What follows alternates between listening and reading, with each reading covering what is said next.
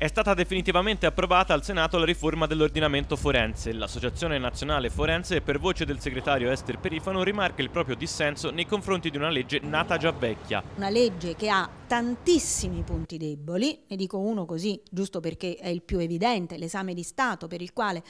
tutti noi ci battiamo da sempre, perché è un esame che non riesce a garantire, ad esempio, la qualità degli avvocati che entrano negli albi, ebbene l'esame è esattamente identico a quello di oggi. Il disciplinare, ad esempio, è un, um, un, insieme di regole che al Senato era stato um, regolato, era stata regolata in un modo, il procedimento disciplinare, alla Camera è stato completamente stravolto. Noi pensiamo che non vi siano adeguati pesi e contrappesi all'interno di questa legge,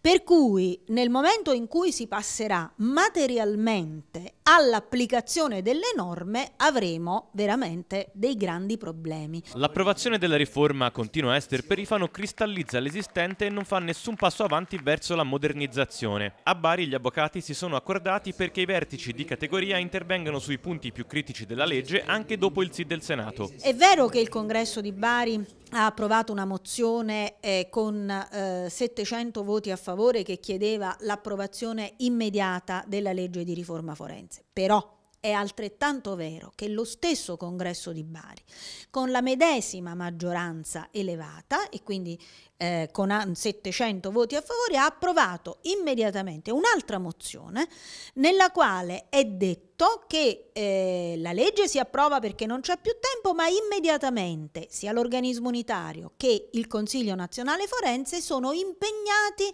a fare sì che queste norme vengano modificate e indica anche i punti sui quali eh, bisogna intervenire con immediatezza, ad iniziare dalla governance nazionale che ha eh, assoluto bisogno di essere riformata perché è una governance assolutamente indietro negli anni, risale al 33 e non ha alcun, eh, alcuna caratteristica di democraticità.